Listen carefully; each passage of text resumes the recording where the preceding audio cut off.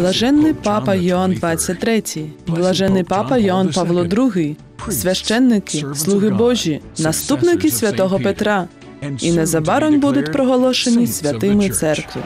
У неділю Божого милосердя, 27 квітня о 10.30, Перша в історії церква святкуватиме канонізацію одночасно двох пап. Коли наш святіший отець Франциск проголосить двох своїх попередників гідними вшанування як зірці та заступники для віруючих. Телебачення віковічного слова буде там, транслюватиме і коментуватиме перебіг цієї унікальної події. З цієї нагоди телеканал EWTN покаже сюжети і передачі про святе життя цих видатних понтифіків. Завжди їх будуть вшановувати на землі. Їхні імена записані в небесній книзі торжествуючої церкви.